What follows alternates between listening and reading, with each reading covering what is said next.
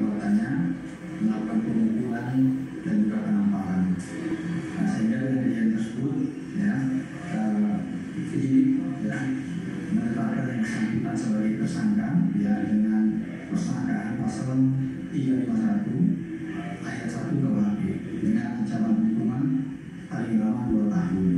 Kemudian terhadap tersangka ya sudah dilakukan penahanan di Polsek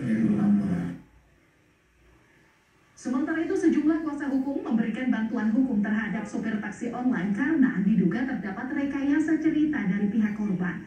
Tim kuasa hukum memberikan bukti tambahan kepada penyidik berupa percakapan ancaman dari keluarga korban terhadap terduga pelaku. Menurut kuasa hukum, perkelahian terjadi usai korban menampar pelaku karena sopir meminta uang kompensasi senilai Rp300.000.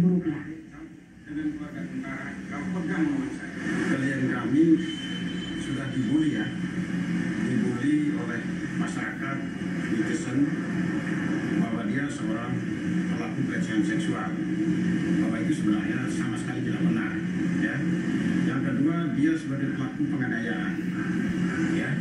Di sini debatable kami sendiri bukan penganiayaan. Ini sebenarnya perkelahian ya.